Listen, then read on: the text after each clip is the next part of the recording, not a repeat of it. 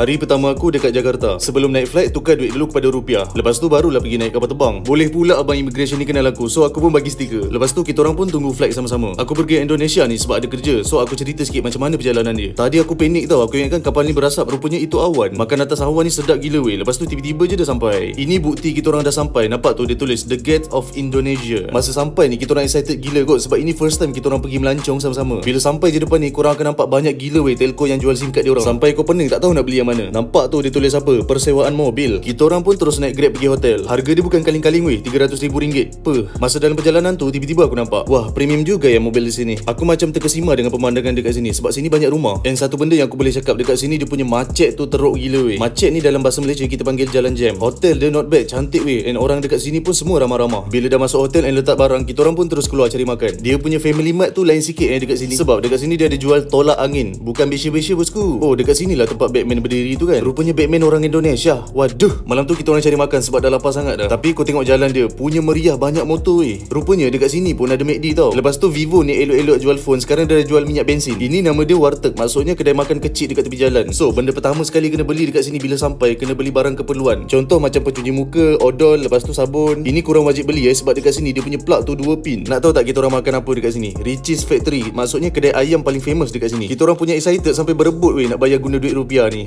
dekat sini drive melawan arus tu dah biasa dah. Ini nama dia angkot. Dia semacam bus tapi version yang van. Bila jalan jam akan ada orang yang akan mainkan muzik. So kita tak adalah stress. So kita orang pun dah sampai rumah and it's time to makan. Serius lapar gila weh. Ayam dia pedas nak mampus tapi serius sedap gila. So bila dah habis makan and kenyang, kita orang pun bersiap-siap untuk tidur. Apa-apa pun good night Jakarta. Besok aku update hari kedua.